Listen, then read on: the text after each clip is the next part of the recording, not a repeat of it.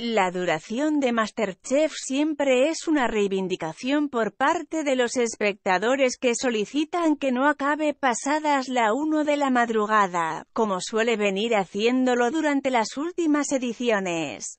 Parece que esta petición será estudiada por RTV ya que la corporación se plantea adelantar su emisión antes del telediario 2 y retomarla después del espacio informativo.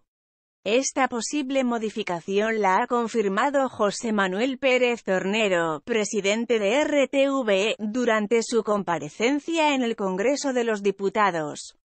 Según informa Europa Press, el máximo responsable de la corporación ve difícil que se pueda realizar esta modificación de la para Tornero. Lo más importante es mantener la intriga del talent show. Lo que no queremos es dar el desenlace en la web antes de que se haya producido, aseguró.